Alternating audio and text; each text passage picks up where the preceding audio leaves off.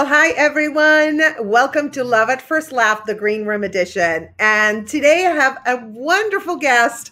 I've known her for years and she is a kick ass. I mean, she's inspiring. She always inspired me and encouraged me to pursue my dreams. She is the author of Create Your Yes. I mean, how much more positive than that can you get? She's amazing. Oh, and she wrote the movie A Christmas for Mary, which aired on OWN.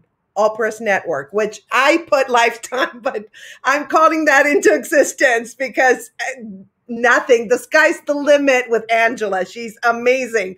Please welcome Angela Hutchinson. Yay! Hey, I'm so excited. Yes, I'm all about the existence, putting it into existence. yes, yes. So I did that for you. So next thing you know, you're gonna be on Lifetime. There you go. Listen, I'll take it. right?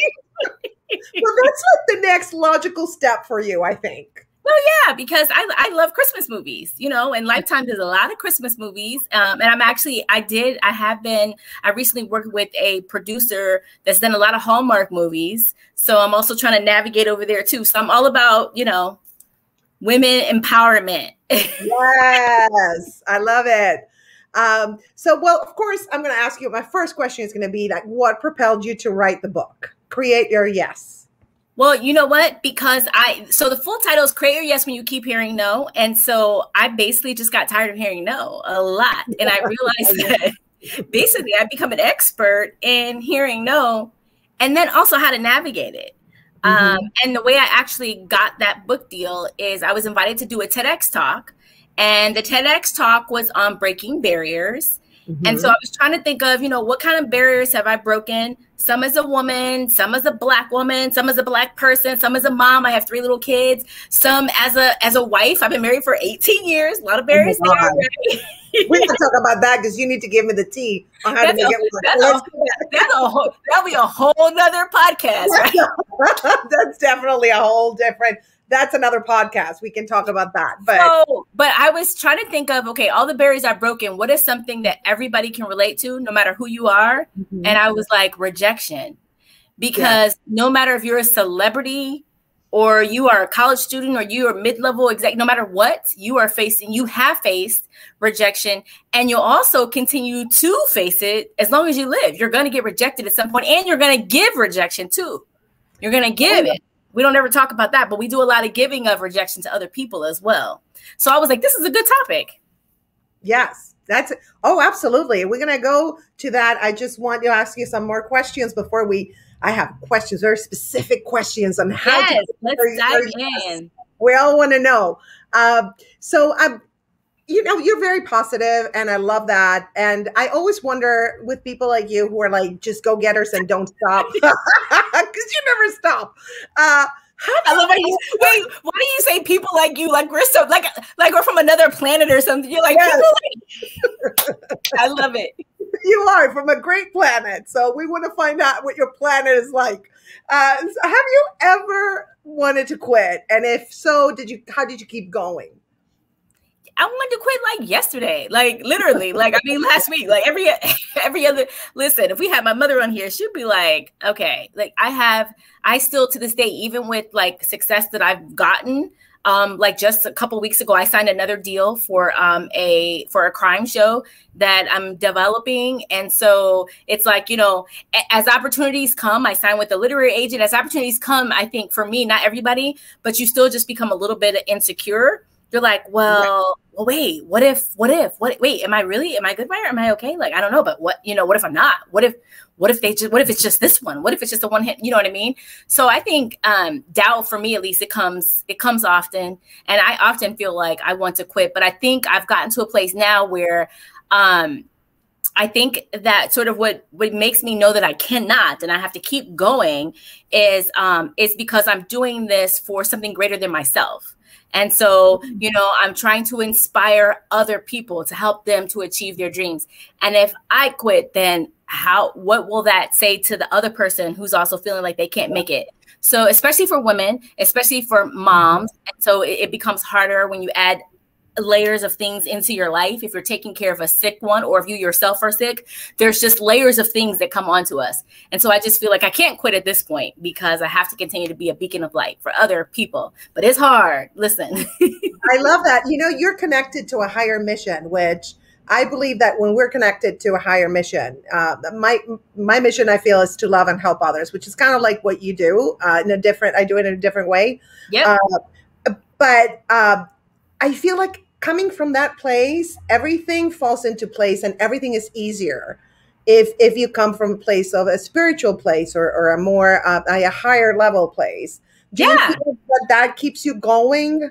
Absolutely. I mean, for me, I'm a Christian, so you know, God is my source of, mm-hmm. of power, my source. But I think even if you, no matter what, no matter what religion you are, I think it's just important to tap into something higher than yourself and giving purpose to your not so much i mean it's good to give like a big a big vision purpose but also just the day to day like i really try to have a purpose each day. When i wake up at 5 20 in the morning i'm like okay what am i trying to what what is my purpose today? Like what am i trying to do? Is it to make sure i get all my doctor's appointments done? Is it like what is the purpose for today for my world? And then what am i what am i contributing to other people Mm-hmm. Um, and I either try to do that in a big way, whether it's sending an email to people or it's in a small way, texting a mentor, I mean, a mentee, hey, you know, can I help you with something or what are you working on or, you know, whatever it might be.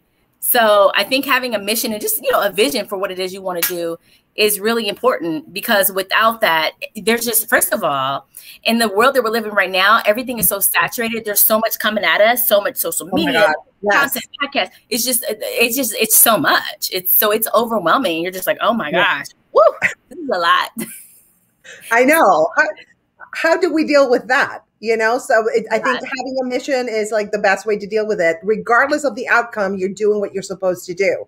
Yeah. And and, and you and I, I remember before you know earlier in my career i was hung up on results and now i'm more hung up yeah. not hung up but i'm like all about i do what i do regardless of the results. But in your book you talk about getting results. We're going to get to that. Yeah, yeah, i mean yeah I mean, results are good but i think i think to your point progress is important you know, it's not much the end. It's just like just getting from like to the end of the week. Like that is progress. Like you make it to the end of the week and you're still like at the gym or you're still, you know, can happily drink your cup of coffee or, you know, whatever it is you enjoy doing. When you can do that by Friday, that's that is like ha- that's a happy time. You should celebrate that moment. You know, we don't celebrate enough of our small small successes. We're always looking for those big things, but it's the small mm-hmm. successes that allow us to get to those big things. Absolutely. Um, wh- what are you grateful for? Because being grateful is, I think, really important, right? That's everything. Every day, everything. Yeah, that's. I mean, being grateful is just is everything. I'm always, you know, really telling my children how important it is to be grateful for. I'm a really big on listen. Even if you don't like the meal I'm serving you, um, when I put that meal down, you need to say thank you. To me, you need to say thank you to God, even if you don't like the meal. So, and I and they have to remind me too. Did you pray? Did you did you say? Oh no, I forgot to say my grace. Okay, let me do that. But so I try to I have a little um a little journal um that my daughter bought me called I think it's says uh, expre- espresso yourself, like you know, coffee espresso yourself. And yeah. in there, I try to, you know, every other night, whenever I think about it, to write down one thing that I'm really grateful for that day. And mm-hmm. so sometimes it's the same thing. Sometimes it's family. Sometimes it's just life. Sometimes it's just creativity. I think that's one of my um, things I really enjoy to be able to create something. Um, mm-hmm. Some of the gifts that I feel like I have. So I'm grateful for those things. But you know, I think when it really comes down to it, it's just like my mental health is is big. I think mental health. I learned mm-hmm. during COVID how important your mental health is. Oh my and God. So, right? And so I'm so grateful to have that and, to better understand myself and other people around me. So that is something I'm really grateful for. I love it. Here's uh, Marty. We're gonna be taking comments from the yes listeners. He says at my age, waking up is progress. He's 81. He's a good friend of mine.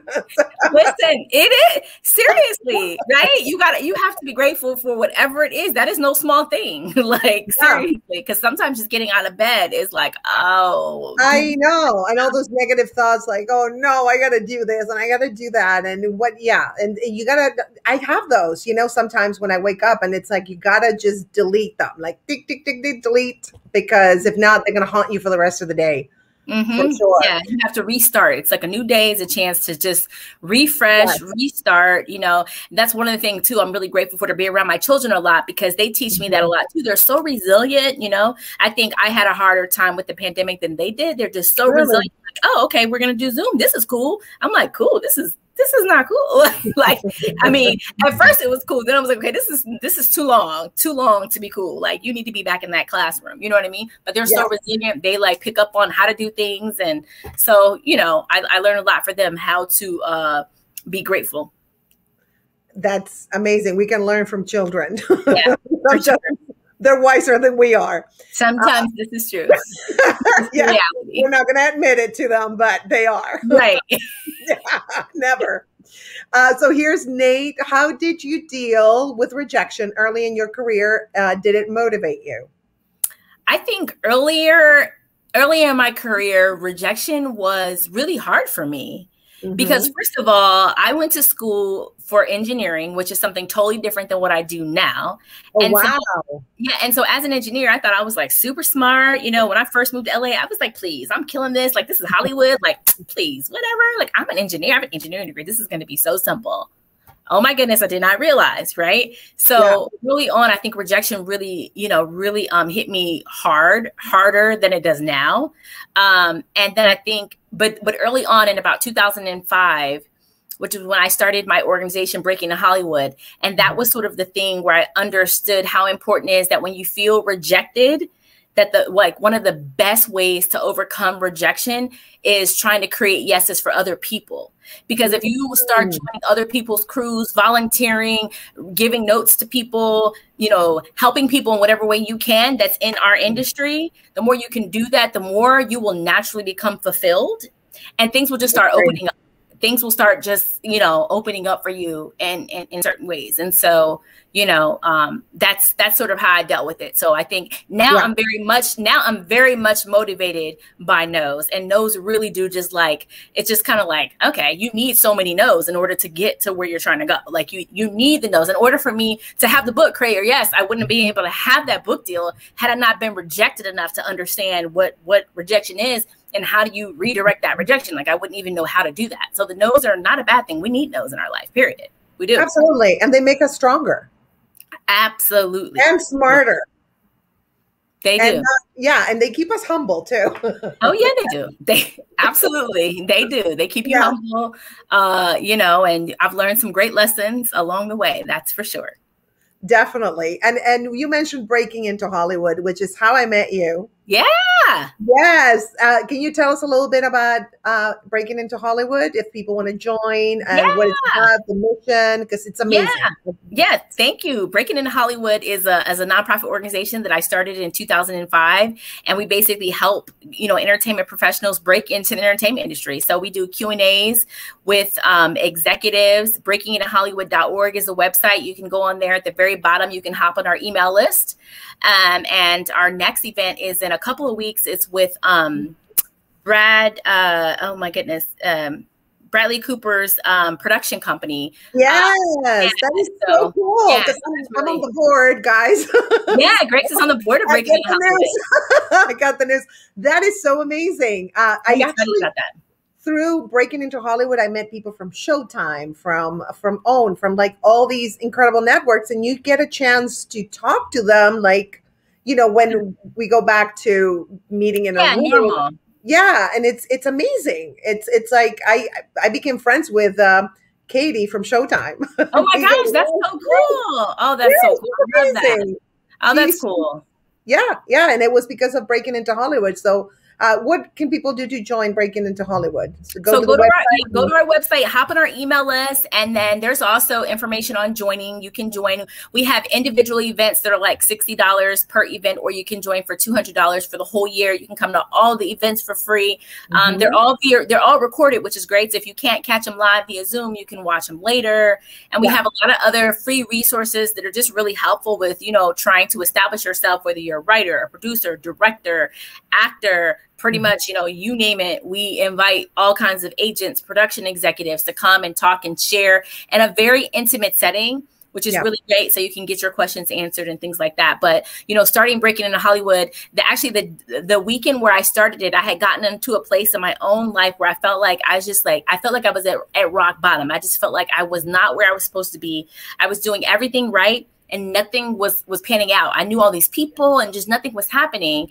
And um and I remember talking to my mom and I, and she was like, "What are you doing to give back in in in in the community?" And I was like, "Oh, I do mentoring. I help girls in my church. I do things." She said, "No, but what are you doing to give back in the entertainment industry, which is the area where you want to be successful?"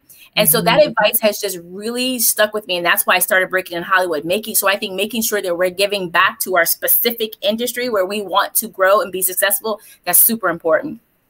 Absolutely. And it keeps you focused on others, which is so much better than being focused on ourselves. Yeah, because sometimes eh, focusing on yourself is too it's just too much. Like like I do a lot of career coaching and I just love coaching clients because yes.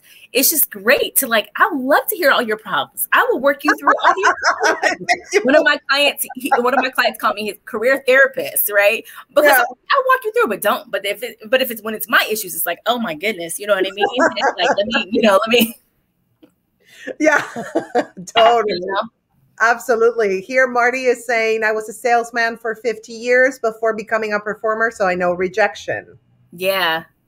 Sales is one of the best best things, right? Sales is one of the best right. things to learn. And and pretty much that's what we're doing in the entertainment industry. In the entertainment business, we are selling ourselves. We are, you know, when you're actor, writer, producer, you're selling yourself, you're selling your brand. You are, you know, pretty much on a daily basis trying to figure out how to sell yourself to different people because everybody, you know, um, you know, when I'm pitching myself to a literary agent, that's very different than when you're trying to, you know, sell a show. Those are just so many different things. So you're always, you know, pitching and understanding how to sell something, whether it's a product, a project, or yourself, and why you should be the one doing the project. Absolutely. So tell us a little bit about pitching because that's a topic we have a lot of people in the entertainment industry that are listening and um, and then they download the pod, uh, podcast too. So everybody, you know, in the industry will well, not everybody, but a lot of people yeah. in the industry will. So, uh, what is the process of pitching a show yeah. in your experience? Is, yeah. is, there a particular path, or is it different? I think it's probably different. It's probably it's probably different for you know depending on what kind of show people want to pitch, but I'll speak to my experience. So I sold my very first show uh, last year to woohoo to Facebook, um, and so it aired on Facebook Watch. They bought six episodes, nice. and so yeah, and so the way I did that is um, I um, was working with a production company, and mm-hmm. so I've actually had about oh my goodness, I think I'm at like number seventeen or eighteen option deals with different production companies, which means that. I know it's crazy, so insane, so insane. Um, but but that's literally of all those, that's the only, that's one that sold, and I'm in the process of developing the crime one, right? Uh, the crime show, mm-hmm. and I think we're I think this one's gonna go um because it's so nice. juicy, it's so it's so the thing about when you're pitching something. I tried to pitch the same show some time ago. It just the the industry wasn't ready for it but mm. with the way things are and just a lot of things that happen you know in the media the show is is able people are able to see it from a different perspective the show than they ever would be able to before. So sometimes things are timing whether yeah. it's you know something being in or cool or, or whatever it is. So everything is timing um, and so I think, you know, that's something to keep in mind when you're pitching. When you're mm-hmm. pitching something, you have to see how relevant it is to the times that you're in. Even though the show may not air for a year from now, you that's still mm-hmm. important to say why is this what is what is going to like pique the interest of the people that you're pitching. And I think ultimately either having a sizzle or having a pitch deck um you know maybe a pilot script if if it's like a scripted um, right. series or something like that um, but I think that a Bible also is that important? Yeah, a story Bible. I mean, there's so many different ways. I do like one sheets. I've pitched. I've literally pitched. Um, I've gotten option deals from pitching like a one sheet. I've literally once. See, the thing is, once you build a relationship with production yeah. company executives, they're more open to like receiving your ideas with less less information being presented to them. Mm-hmm. So if you don't know someone, you might have to have like a 30 page Bible and all this stuff. But once you start developing a relationship and they know, okay, who you are, your ideas are great. They just haven't found one that fits with their programming mandate, right? Mm-hmm. And so they'll allow you to just pitch like a log line or, you know, a little paragraph in, in an image just to right. kind of concept and then you know um, i've gotten production deals that way too off of something literally like a paragraph and, a, and, an image. And they were like we love it. And they signed me a deal you know? Now the show did not sell ultimately but still that was you know still successful yeah. because it's like you know getting getting option deals are very hard to do. And just because i have 17 of them i cannot minimize that. I have to keep reminding myself like i know they, they didn't have 17 deals but they didn't all sell but listen keep going angela because one day. Exactly. And that's what that was my next thought. It's like you did not give up after 17 times you know?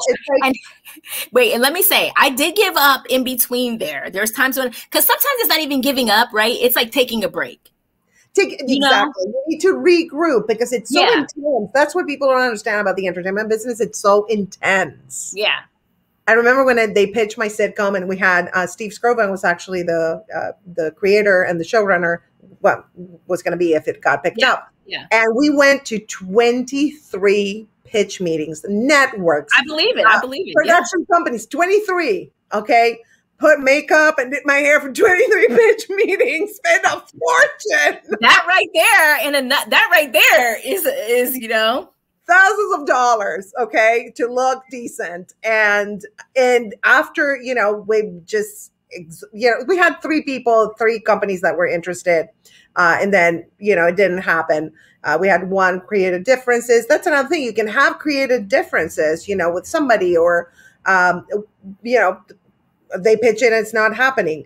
But after that, I really had to take a break because it had been so intense, like a year and a half of pitching and and like, oh, we have a a meeting with uh, ABC or with Disney or with this with that, and it was just so intense because the expectations and the oh my god, you know, like I had a pitch meeting with JLo's company. I was like, oh my god, JLo, might be JLo, you know, like I was so excited all the time, and then it was like deflate, inflate. Yeah, deflate. That's yeah. how felt, lot, you know? and that's a and that's a very like you know, and it's like a balance because you don't want to lose your um your momentum and your excitement because if you go in there all like whatever and chilled, it's kind of like it may not happen.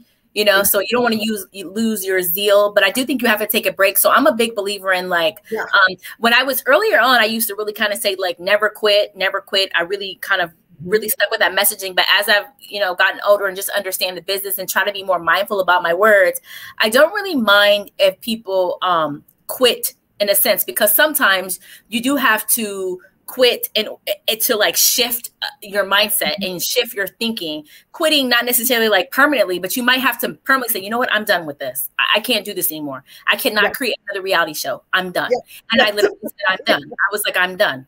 And then some time passed, some things happened, some meetings occurred, and it was like, oh, I'm back in. But I literally had said I was done, you know? So I think it's okay to mm-hmm. quit, to reshift and focus your mind. Doesn't mean that you're quitting it forever, but mm-hmm. um, sometimes you do need a break. That's just that's just real for your Absolutely. sanity. Absolutely. And also as a creative, you have to take breaks because you can't be creating all the time. Yeah. Otherwise your head just your head will explode yeah, yeah. That's, that's, that's me. Like I'm literally like can't sit still sometimes. I'm like, oh my gosh, the idea is so coming. I'm like, oh my gosh, oh my gosh. I had a meeting with the um with the producer, and it was like nine o'clock in the morning, and he was like, oh, I have never seen someone. Have you had your coffee yet? Because you are way too hyper, way too happy.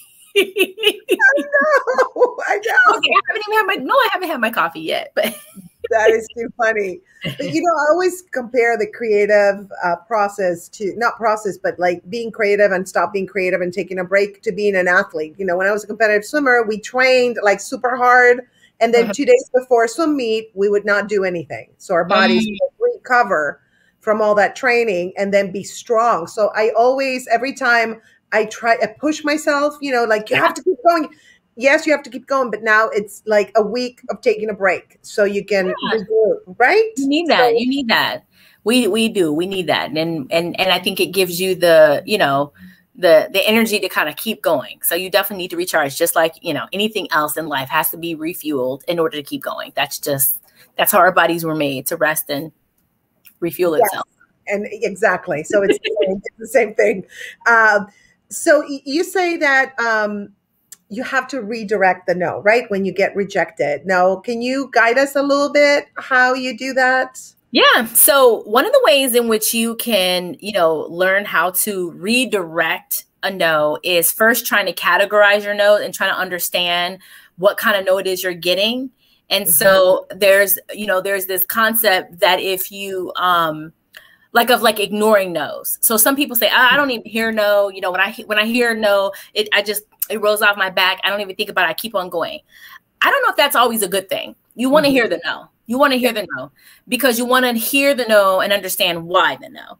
Why are you getting a no? You have to process the no. So if someone says they're not interested, you can go back in and say why, you know, or what are you looking for, or what did you like, or you know, not be afraid to like push those questions. So in order to redirect yeah. something, you have to get more information about your no, so that you know what kind of no it is, why you're getting it, is it a timing issue, you know, that kind of thing, and then that helps you to kind of process what to, what to do with it but you got to get more information about no's. You cannot just say, "Oh, I just I just don't let them no's just don't affect me." That's that's a, that is a great trait to have to not be to not allow um, a no to like hinder you, you know. Yeah. And then the other thing when it comes to like creating a yes is that you know in, especially in our business there's mm-hmm. that the whole idea that if you keep pursuing something if you keep going after something you know after 99 times you'll eventually get your yes and that i have found is sometimes just not true yeah. and that sometimes your yes literally will not come until you actually create it yourself. And so that is something that as creators we sometimes forget. We we really do. Even though we're creative people what happens is we start to we're good at sometimes creating projects and things right? Mm-hmm. but then we forget that we also have to go a little step further and possibly create the actual opportunity in it of itself you know whether that's like creating the actual platform itself it's going to be on or you know like you know go ahead and pushing through all the way to do your fiction podcast, not just mm-hmm. coming up with the idea for a podcast, but actually going through and pitching it and not just doing one season, but doing three seasons. And exactly. you know what I mean? And like really taking things like further. I love that. Um, one thing that I always wonder because I optioned a show, right? Um, I don't know if I did I tell you that? Which one? I mean, you probably have. Grace. I have a million. I know. Okay. But it, it's it's uh, uh, Finding Grace, and it's a scripted. Okay. I can't. Yeah. I remember you telling me that. that yeah, yeah. a comedy. So to a producer, right? We uh, optioned it, and we renewed the option um, not um, long ago. So we are working with the producer. You know, they give us notes, and we rework. You know, the the not only the pitch deck but the Bible. Uh, do you when you did the movie? Okay, did you get notes from the network, and how did you deal with those notes? So Okay, so that movie. So what's interesting about that movie, A Christmas for Mary, was that it was a writing assignment.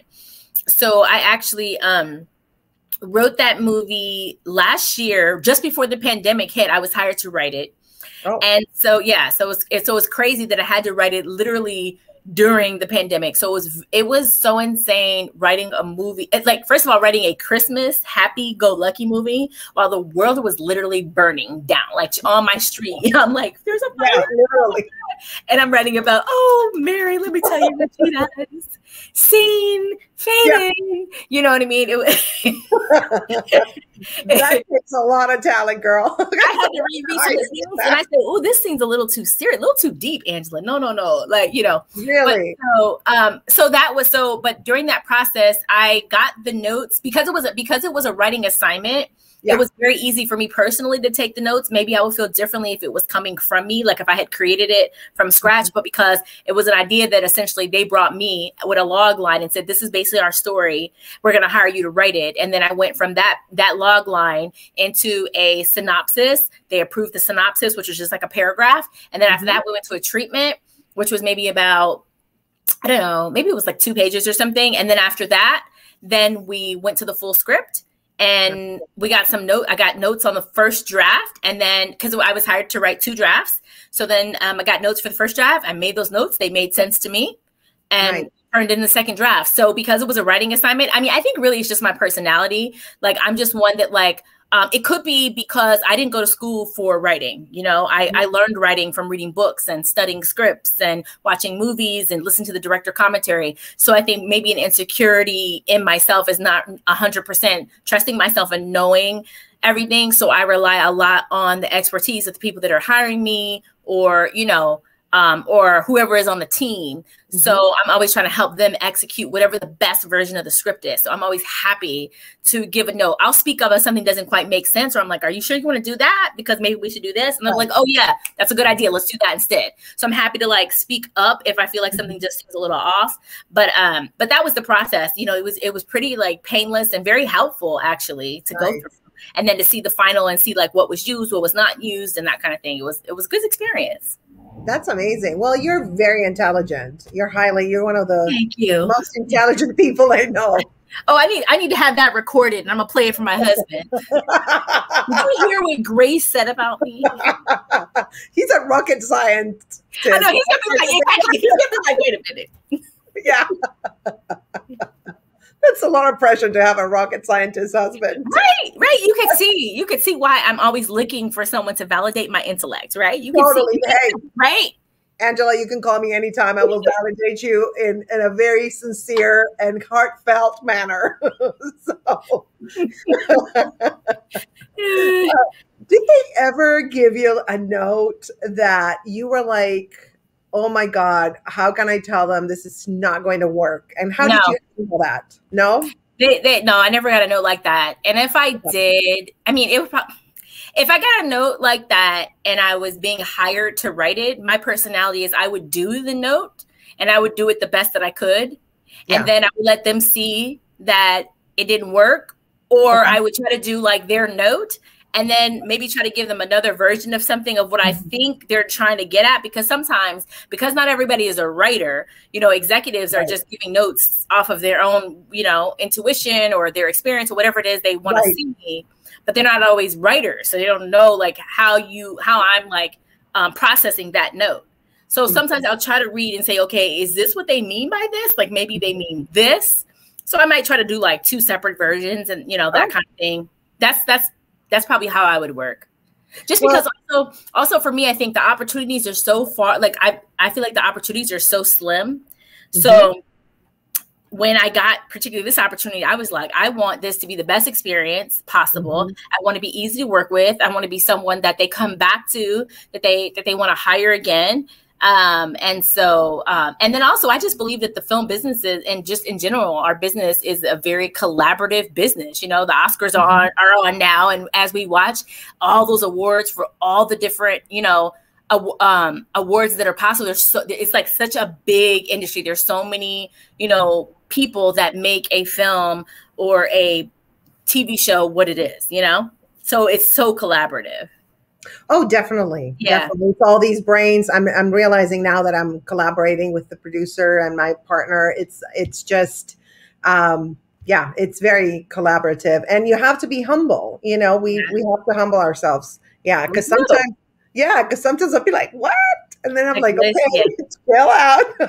Yeah, because Yeah. listen, if you're putting it on their network or if they're paying for it and Yeah. like you know what, listen, it's all good. yeah, Yeah, and maybe you know maybe what they think it's it's gonna work. I think in my case it's because it is semi autobiographical. I yeah, so it's a lot harder because you're like that's not what happened, or yeah, that doesn't Yeah. really make sense. So no, that's that's that's definitely a harder, I think, a harder thing. Yeah, It is, but definitely I keep the humble attitude because I and to be known as easy to work with because if not, people you can be talented as hell, but if you're not easy to work with, nobody Yeah. will want to work with you. exactly. Yeah, so you know, you might make less money, definitely. right? Yeah, Uh, totally. Um, so let me see. I look. I'm so behind on my questions. Did you ever option any shows? How's that process? Okay, Grace, keep moving. Keep scrolling up, girl. Keep scrolling up. Uh, let me see. Oh, uh, you talk about this. This was fascinating because you talk about peripheral vision. Okay. Mhm. Can you tell us why peripheral vision? First of all, what it is, and second of all, why is it so important? Yeah. You know, I like to I'll share a personal story because I think that's it's just easy to connect when you, you know, can see it from a very just a personal story is um I was one time I was on an airplane and I was heading to Nashville and this guy next to me kept talking and he was just like talking talking talking and I was like, "Oh my gosh, I was really tired." And I was like, you know, I'm, you know, I have kids, so I'm like using this plane ride to go to sleep, right? I was waiting for my kids, right? And I'm just like, this is my sleep time right now. And this dude yeah. is just nonstop talking. He kept talking about his ventures and entertainment, a, a, video game, just stuff he was talking. And I was just like, who is this guy? Like, what, what is he? And I'm just like, you know, in LA, you meet a lot of people who are always talking about stuff they're doing. You're like, okay.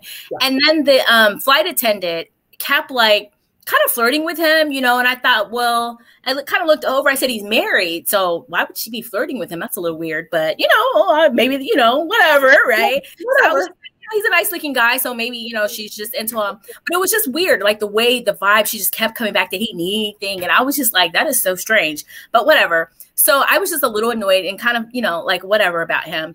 And then when we got off the plane, um it, the the guy who was picking me up or no when we were walking when i was walking out the plane people were like pointing like oh oh, oh, oh you know and i was like who is this guy? So I, yeah. I, was like, who is that guy? Why is everyone like pointing, taking pictures? He was like, that's Eddie George. I was like, who's Eddie George? He's like, oh my gosh, Angela and he's like, he's a football player. You never heard of Eddie George, a football player? I'm like, no, I don't. I don't watch football. I mean, yeah. I don't. I mean, I'm just not a football. I'm not even a sports person. So unless you were like the basic names of a, of the basketball team, like I do not know you. I'm with you. Yes, I have no clue, no idea. Yeah. But here's the thing: like at that point in time in my career, I was looking for funding for a feature film in that moment, and had I just like opened up my mind a little bit and not been so like, oh my gosh, in my own little head about who's this guy and you know whatever and just really thought to make a genuine connection as he was trying to talk about his whatever, you know what I mean? I, we could have exchanged cards and it could have maybe, you know, been just like a colleague that you know and help in some way or not.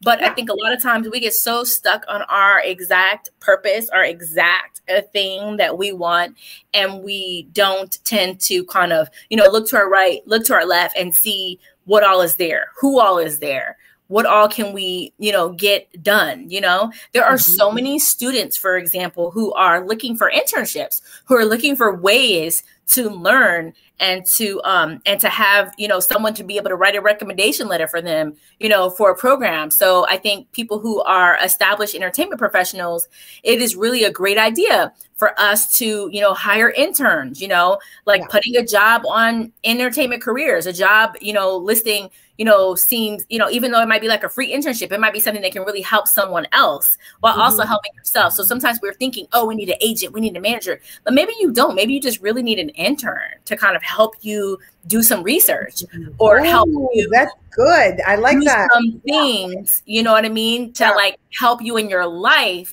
that allows you the creative space to focus on your projects more or allows you the creative space to do more research on trying to get that next option deal.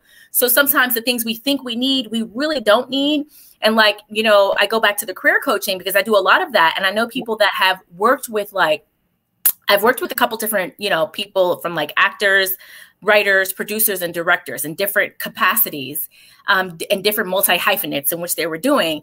And a lot of times, when they are, a lot of times, the person might have thought they really needed a manager or they really needed an agent. And that wasn't even what they really needed. What they really needed was to like finish the sizzle that they had that they hadn't finished or what they really needed was to send some emails and or they really needed to go out network or whatever you know so mm-hmm. peripheral vision is just focusing on things that are maybe not like right you know they're not right ahead they're just kind of like yeah. off the sidelines and literally you know this person was next to you on a plane literally yes literally. i don't even know i don't even know technically if he's like peripheral i mean because he was like right there but i guess that is like you know it is. it's kind of like right like, well like, that was you know not the the best uh success peripheral vision. but you have- that was a fail. Okay, you just you just showed us how to fail. Do you think you could come up one that's a little bit more like you know? Yeah, like. Well, I was going to ask, uh, was there any time in your career? Can you give us examples? I'm sure you have a million examples, but yeah. Oh my goodness, most amazing example of you listening or like paying attention to your peripheral vision. Yeah, it happens all the time. I mean, I think when I gave the interns, that's a really great example for me because I I, I do that. So sometimes I've had mm-hmm. I've had moments in my life where I thought I really needed something and I realized that wasn't what I needed. What I needed was to um, wake up a little earlier and mm-hmm. have the time for myself to execute xyz so sometimes we think we need to even like this is like super personal but sometimes we might think we need to like diet right i might right. think i need to diet because that's like what the world tells you oh you want to lose weight oh you diet oh duh.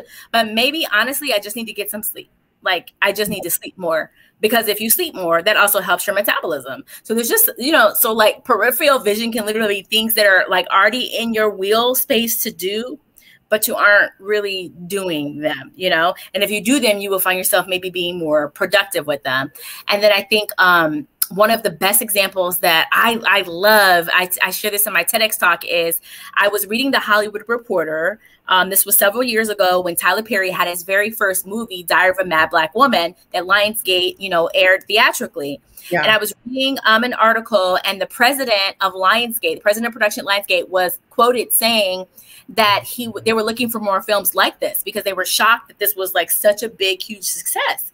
So I sent him an email, didn't know him, didn't have a contact to him. I sent him an email and I just kind of acted like not that I knew him, but I was just like, "Hey, I saw your article in the Hollywood Reporter about you looking for scripts, you know, for movies just like for scripts just like this, mm-hmm. um, and I have one. Uh, if you'd like to consider it, I think I maybe put the log line um, and then in like 15 minutes or some short amount of time, I got an email back from him and he, he had CC'd his entire team and said someone was going to reach out to me. They reached out to me. They sent me a submission release form. I sent the submission release form back. I sent him my script. And then they got right back to me like the next day or that week. They were like, we're going to pass, but we'd like to have a meeting with you. I went in, I had a meeting, talked to the executive. She told me we just want to meet with you. We thought you had, you know, something to say on the page. You had a voice there, but this doesn't fit what we're looking for. But we just wanted to have a conversation. It was a great meeting. I learned a lot about how Tyler Perry got to Lionsgate. I learned about the Green Light Committee and what that means. And I just learned just like insider information that I would have never had had I not taken, because when you read the Hollywood Reporter, that's your normal line of sight, the information that's there, right? Peripheral is saying, okay, what can I do with this that's beyond the page? What can I do with this contact or that bio you see? Right. If you can't afford to go to a, a, film festival panel, peripheral vision is taking the bios and reaching out to the people that are at the at the Realscreen conference or at the whatever produced by conference. Some mm-hmm. of these mm-hmm. conferences are super expensive. So if you can't take the time to, you know, get to all these places, you know, peripheral vision is taking a look and saying, going a deeper dive, how can I try to connect with these people in another way that fits within your, you know, your budget or your life in, in that way? Absolutely. And I, this, I know it's a cliche. This industry is all about relationships.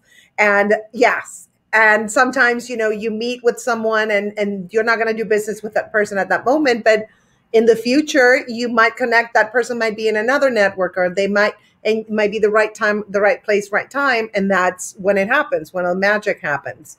So we have to be patient. Do you are you patient as far as like? Well, you're very persistent and consistent, you know. But yeah, patient? Yeah, I think so. I think you learn to be patient. Also, you know what? You gain a lot of confidence because what happened with me, which was something that you know I couldn't have predicted happened is when I sent that little email, just kind of like blindly.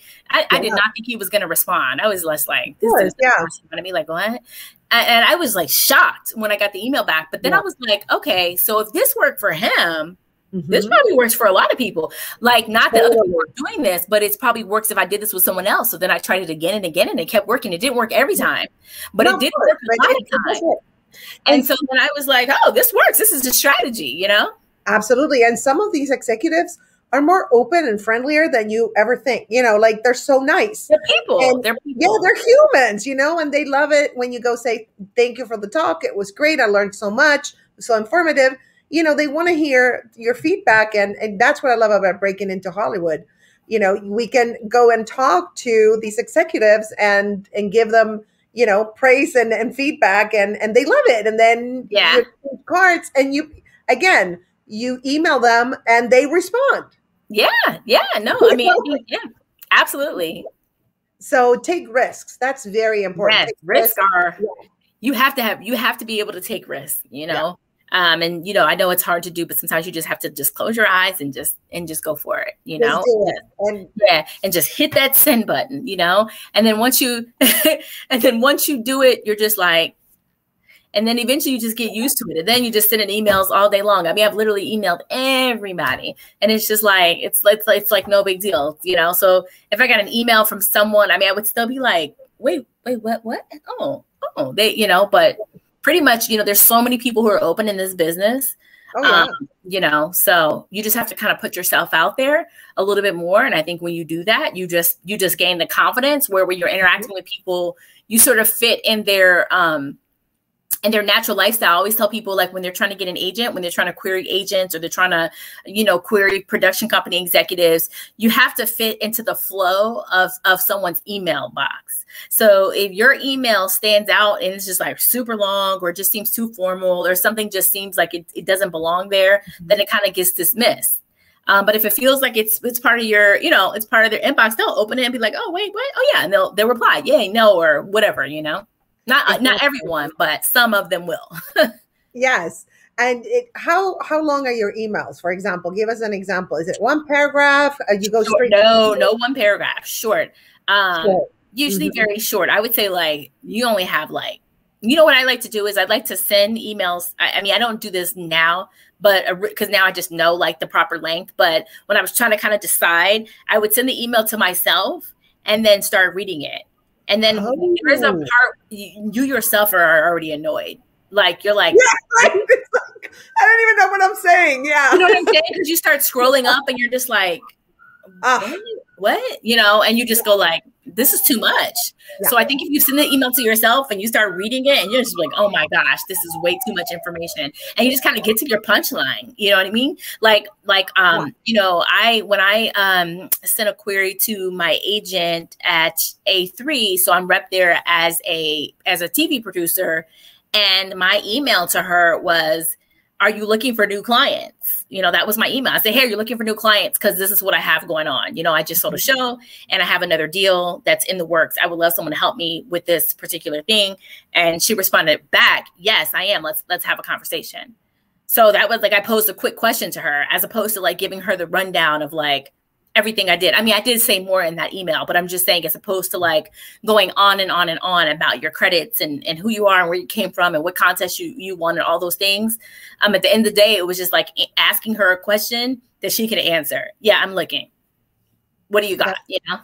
That's great. That's amazing.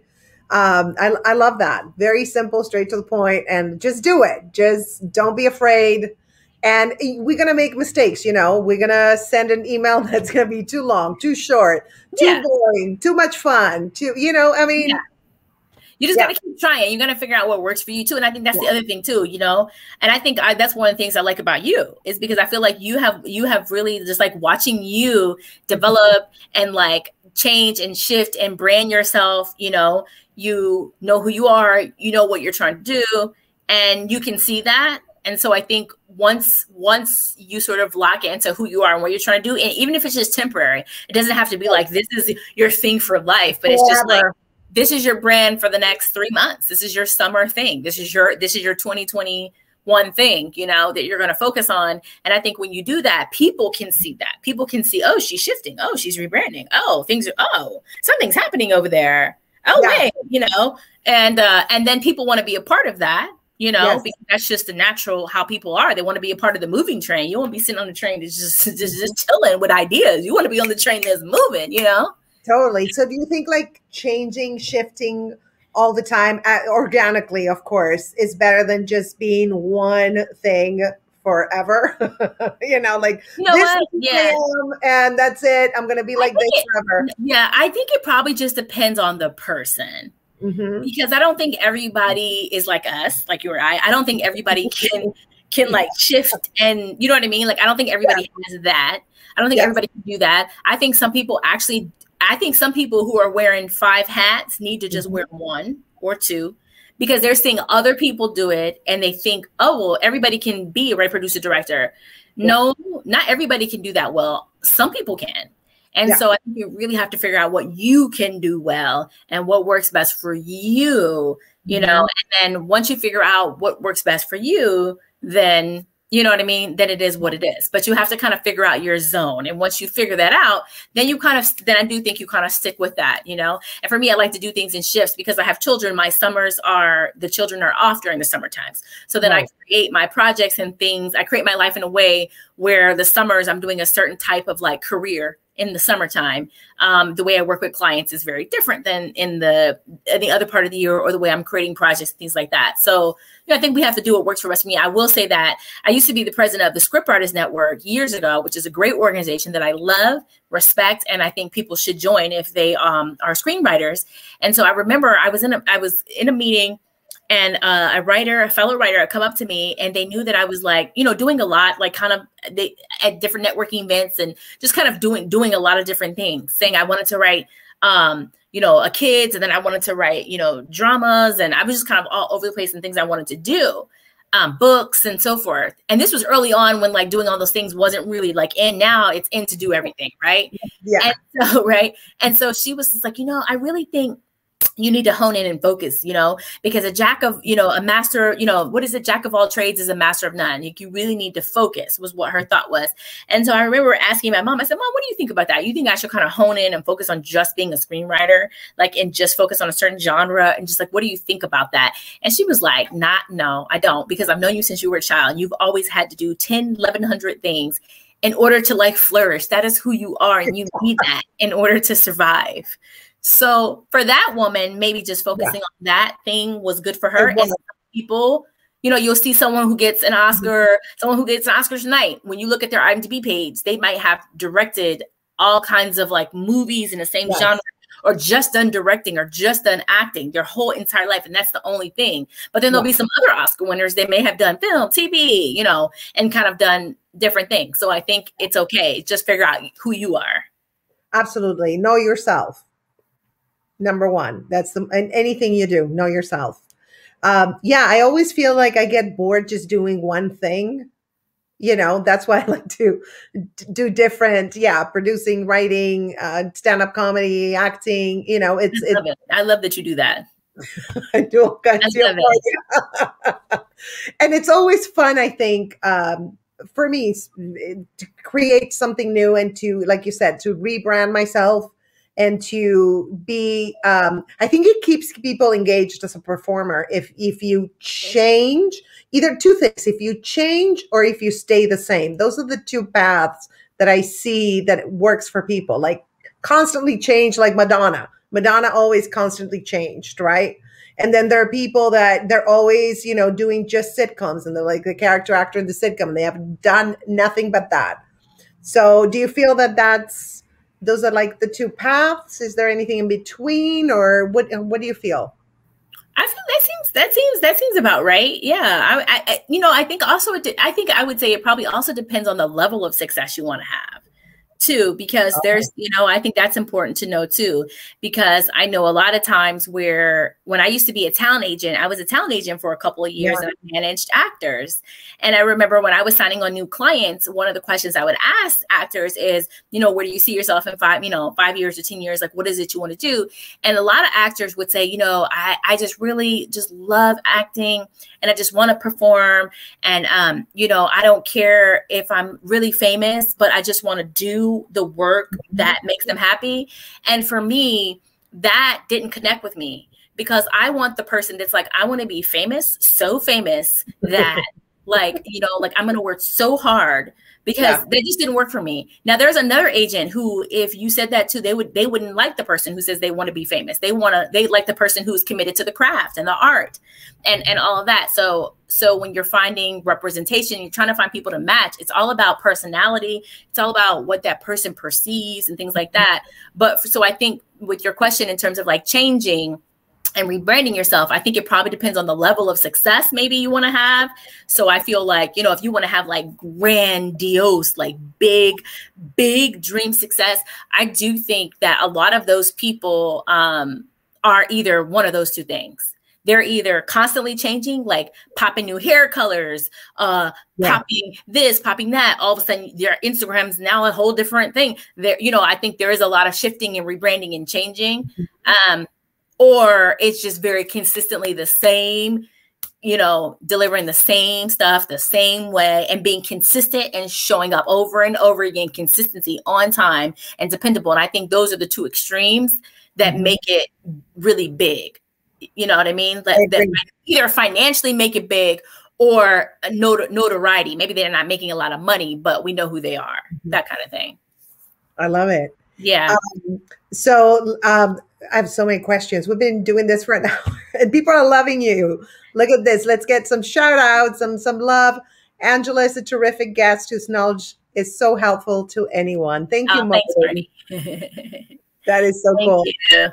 Um, so what is um is you think success is subjective and and what is success what is the, a measurement of success yeah um i think it is um I mean, I think it is subjective, but I think in our our culture it, within America, success is is, is success is is either money, yeah. right, status, power, um, or some version of that. And I think also maybe success is relationship based, you know. Mm-hmm. Um, so I think some version of those areas and reaching, you know, goals in those areas, I think is what defines success.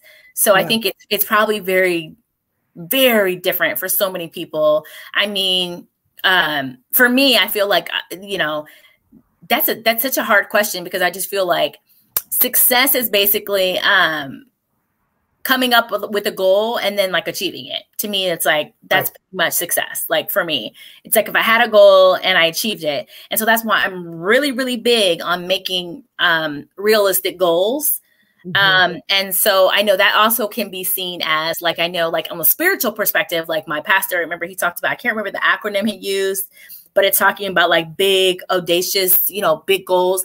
Like if you basically are coming up with these little minor goals, like, mm-hmm. you know, like God can do that. And I mean, God can do anything in a heartbeat, but it's like, why are you coming up with these small goals when you serve a mighty God, right? So then it's like you're supposed to be coming up with like big, grandiose goals. Um, so on one side, I do believe in that, but I also feel like on the day to day, it's really important to come up with goals that you can control. So yeah. when I was like trying to get an agent, for example, um, I would I wouldn't be like I recently signed with a new literary agent, and I years ago would have been like, okay, my goal is to get a literary agent. That's my yeah. goal. I mean, that's what I would be saying to myself. But when I'm now in times when I'm trying to do something like when I was trying to get a literary agent, I was like, okay, I knew I wanted to get a literary agent. Obviously, that's like a goal in my head. But what I really focus on day to day is not that. What I focus on is okay, I need to send 50 query. I need to research 30 agents today. I need to, you know, watch, go on YouTube and search literary agents giving talks. I need to know who's who, what's what, and finding what kind of agent would be good for me, finding out what didn't work for people, you know, going on Twitter, there's a lot of agents on Twitter and Instagram who have like hardly no followers and they um, mm-hmm. are, you know, great resources that you could connect to like directly. And so, you know, so I think that's important, you know, to do as well. So you talk about inch stones and milestones. So is this what this is? Inch stones is exactly. like smaller goals yeah. and then milestones are the big exactly. Goals. Yeah. Yeah, I've always been um, a, a fan of setting goals that are really even higher than I ever even dreamed of.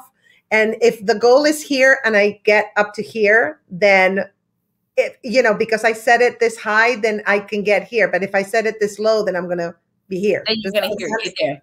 No, I know that makes sense. No, I make sense, and yeah. I think we have to. And I think uh, you know, I don't think everything works for everybody. You know, so we have to kind of figure out like what works for our psyche, what yeah. works for yes.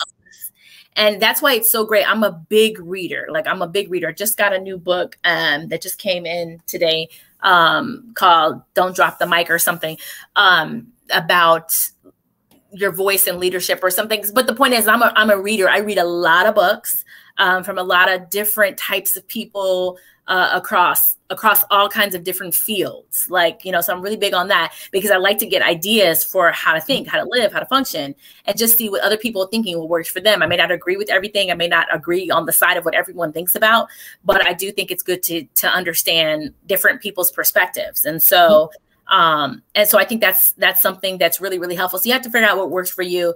I find that of the of the people of the majority of people that I have met in my career, um, whether it be like actors that were looking for representation or people that I have met that feel like they haven't reached the level of success that they're looking for. Majority of people, I believe, tend to focus on milestones.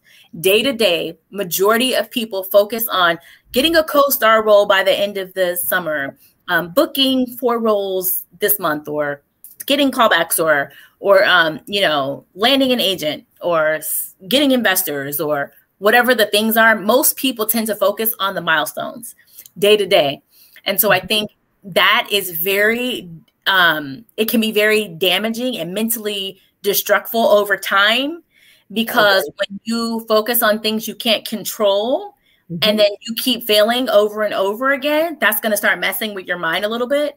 And then you're going to start questioning yourself, wondering if you should stick with this, and just wondering. So I think to avoid that and to really kind of celebrate your successes, it's important to yeah. create, you know what I mean, those goals that are attainable. Um, and I also I work as a social media professor at LMU, and one of the things we talk about in my class is creating SMART goals, specific, measurable, um, mm-hmm. achievable, realistic, um, and timely, and creating goals like that. And I think when you do that in any area of your life, when you get very specific and you find measurable, making something finite, like putting a time limit on it, right. You know, and, and, making sure that it's attainable and things like that, and and um, and realistic and timely. I think those things can help you to putting a deadline to it. I think those mm-hmm. things can be helpful. So, but you know, everything doesn't work for everyone. But I think that's something that overall, I think most people tend to focus on the milestones. And I think if they spent more time focusing on sending the 50 emails out, um, because most people don't want to do that. They don't want to think about it. even sending 50 emails. It just seems like too much, you know, or researching the 50 people yeah. the emails to. That's that's a whole week in and of itself. You know what Absolutely. I mean? On your work schedule and things like that. So lots to think about. I love it. I love it. we could talk for hours, and I have so many more questions. Maybe you can come back and yes, yes, that would be amazing. so, tell us where we can get your book on Amazon and any. Yes, my book, Create Your Yes. You know, yes, show us your book. There it is. I love the cover, and it's like I love it. Yeah, it's poppy. Um, yes. So Create Your Yes, it's available at Barnes and Nobles um, and Amazon, and also um, Penguin Random House. So my book deal was with Sourcebooks, but then Penguin Random House acquired the rights to the book for the audio version. So it's also available on, I believe, Audible. So you can also listen to it. And it's about an hour and 15 minutes or something. So it's an easy to listen to read. And then I'm on social media, Instagram and Twitter, live with Angela. Excellent. So guys, follow Angela. She's amazing. Of course, you witnessed that Thank today. uh, get the book. It's a great read. It's amazing. It's very inspiring. And uh, definitely, if, if you can join Breaking into Hollywood, I highly yes. recommend it. Highly recommend oh, it. thank you. Yes, yes. Thank you for for being on the show. I really appreciate. Oh, thank you for having me. You guys have a great evening. Thank you. You too. Bye, everybody. Okay. Chris, Marty, Jennifer, everybody. Thank you so much for tuning in. Howard, thank you. Okay, last shout out. Wait, no, here. Uh, right here. Great show, Angela. Lots of insight. Thanks, Grace. Thank you, Howard, for tuning in. And thank you, everyone. And I'll see you next weekend, next Sunday at 7 p.m. Pacific Standard Time. Bye.